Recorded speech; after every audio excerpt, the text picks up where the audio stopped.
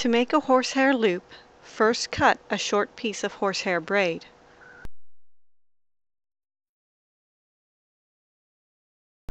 Fold it in half and sew the ends together.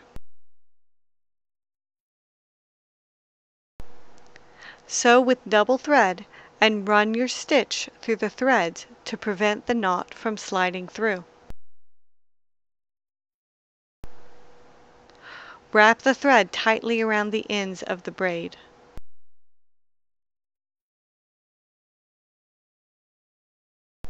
Secure your stitch by sewing through the braid.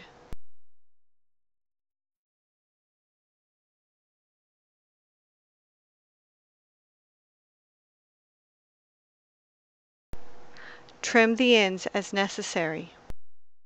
Finish the ends by flipping the braid inside out.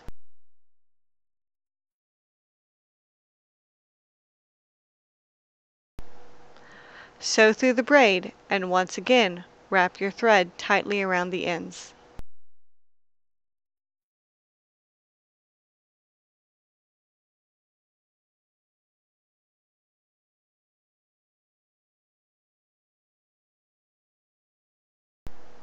Secure your stitch by sewing through the braid.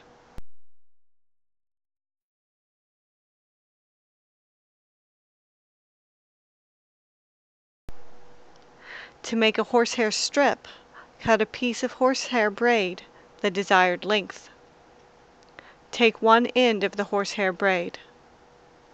Sew with double thread and run your first stitch through your threads to prevent the knot from sliding through. Wrap the thread tightly around the end of the braid. Secure your stitch by sewing through the braid. Trim as necessary.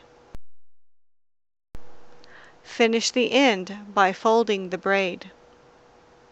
Sew through the braid and once again wrap your thread tightly around the end.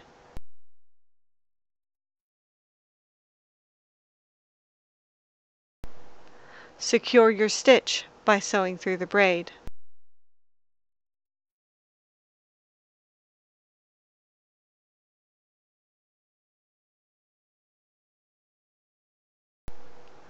Repeat on the other side of the strip.